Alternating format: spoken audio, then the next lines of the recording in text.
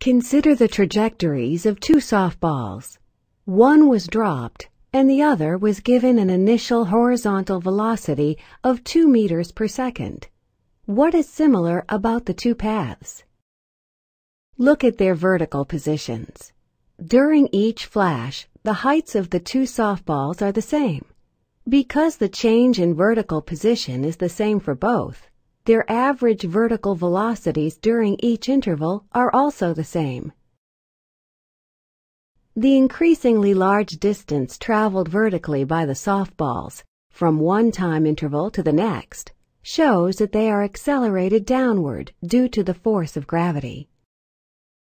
Notice that the horizontal motion of the launched ball does not affect its vertical motion. A projectile launched horizontally has no initial vertical velocity. Therefore, its vertical motion is like that of an object dropped from rest. The downward velocity increases regularly because of the acceleration due to gravity.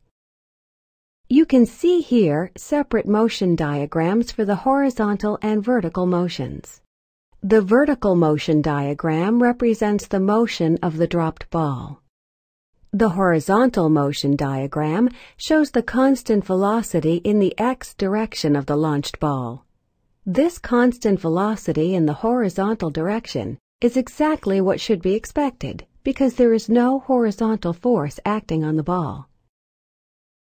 In this figure, the horizontal and vertical components are added to form the total velocity vector for the projectile. You can see how the combination of constant horizontal velocity and uniform vertical acceleration produces a trajectory that has a parabolic shape.